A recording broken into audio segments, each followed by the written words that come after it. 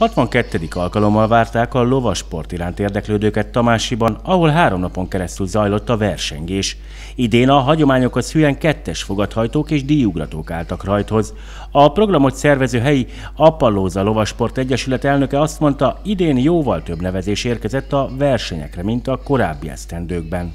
Az ugrólovasok között 213 startot regisztrálunk a hétvégén, a fogadhajtóknál pedig a két versenynapon 14-14 hajtó verseng a győzelemért. A versenyzők hónapokon keresztül készültek a Tamási lovasnapokra, így tett az Ajkáról első alkalommal a városba érkezett Unger Fanni is. Folyamatosan tréningezünk a lovakkal, minden nap szinte heti öt napot legalább dolgoznak a lovak, illetve a tanítványok is, és folyamatosan, tudatosan készülünk a kitűzött versenyekre. Porga Ferenc Tamási polgármestere azt mondta, a lovasnapok a település egyik legfontosabb éves eseménye.